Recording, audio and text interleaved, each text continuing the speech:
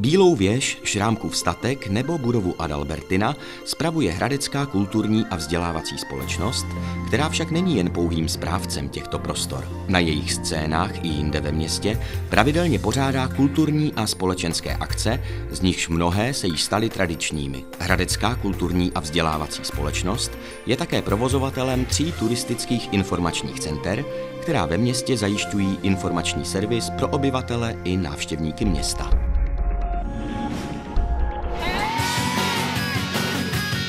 Bohatou historií, tituly a účastí na domácích i evropských pohárech i moderní přítomností se chlubí hradecký oddíl pozemního hokeje TJ Slávia.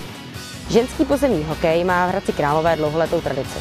Nejen díky trvalé podpoře města jsme se stali halovými mistrněmi republiky v sezóně 2010. V následující sezóně jsme se zúčastnili evropských pohárů, kdy jsme mimo jiné soupeřili také s rakouským mistrem.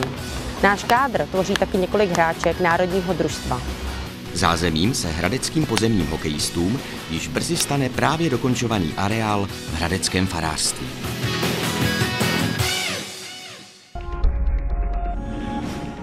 Začátek listopadu můžete v Hradci Králové oslavit stancem při mezinárodní soutěži Hradec Králové Open 2013 nebo při sklence letošního vína spolu s Martinem na Bílém koni pod Bílou věží.